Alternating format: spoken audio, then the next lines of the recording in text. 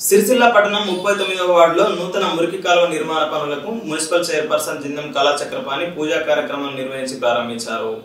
ఈ సందర్భంగా చైర్పర్సన్ జిందం కళా చక్రపాణి మాట్లాడుతూ ముప్పై తొమ్మిదవ వార్డులో గత కొన్ని సంవత్సరాల క్రితం నిర్మించిన మురికి కాలువలు శిథిలావస్థకు చేరుకోవడంతో కౌన్సిలర్ ఆకుల కృష్ణ ఆధ్వర్యంలో పాలకవర్గం సహకారంతో మూడు లక్షల రూపాయల నిధులతో నూతన మురికి కాలువ నిర్మాణానికి నేడు భూమి పూజ కార్యక్రమం నిర్వహించినట్లు తెలిపారు.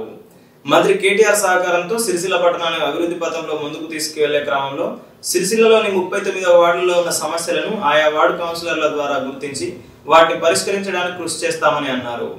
కార్యక్రమంలో municipal commissioner Sammaiah vice chairman Manchi Srinivas కౌన్సిలర్లు సభ్యులు ఆకుల కృష్ణ వేముల రవి దిడ్డి మాధవి రాజు కోఆప్షన్ సభ్యులు ఏనుగుల అంజమ్మ తెరాస నాయకులు దిడ్డి రాజు మున్సిపల్ ఈ వెంకటశేషయ్య ఏఈ వరుణ్ మున్సిపల్ సిబ్బంది పాల్గొన్నారు. మున్సిపల్ పరిధిలో ముప్పై తొమ్మిదో వార్డులో ఇవాళ ఎస్సీఎస్సీ సబ్ ప్లాన్ లక్ష రూపాయలు జనరల్ ఫండ్ రెండు లక్షల రూపాయలతోటి ఇక్కడ ఈ ప్రాంతంలో లెవెలింగ్ లేక డ్రైనేజ్ బాగాలేకపోతే ఆకుల చిన్న గారు ఈ ప్రాంతంలో మంజూరు చేయించి ఇది ఇలా ప్రారంభించుకోవడం జరిగింది. ఈ కార్యక్రమానికి గౌరవనీయులు చైర్పర్సన్ గారు మరి కమిషనర్ గారు వార్డు కౌన్సిలర్ ఆకుల చిన్న మరి తోటి కౌన్సిలర్లు వార్డు ప్రజలందరూ పాల్గొన్నారు.